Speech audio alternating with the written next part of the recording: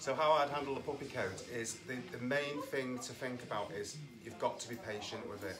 You just can't rush it. It's something you can't rush. If you rush it in the interim, you're going to ruin the. You can ruin the coat for future.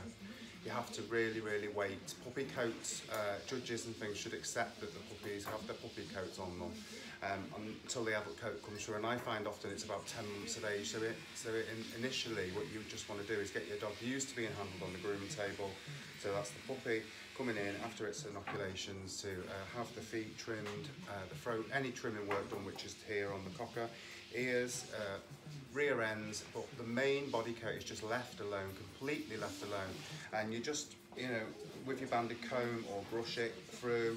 Um, banded comb's great, it just gets them used to the sensation uh, for what's going to become when they are able to be stripped.